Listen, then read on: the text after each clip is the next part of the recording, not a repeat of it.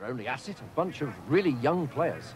With no money for transfers or even for good wages, it was up to Bobby Gould to create a side capable of surviving in Division 3. That was always an uphill job. Bottom of the table in September, they never got higher than halfway, but they did at least finish safe. Again and again for Bobby Gould, it was a case of having to throw in raw teenagers in at the deep end of professional football. Perhaps before their time. The job was made all the harder by Rovers having to pack their bags and move to Bath City's ground. Their money troubles meant they could no longer afford the rent being asked at Eastville. So the 1986-87 season became a, all about avoiding relegation. And Bobby's mixture of old heads and young legs did him proud in achieving just that. His accomplishments with a tiny budget and not even a home ground won him a new reputation nationally as a manager.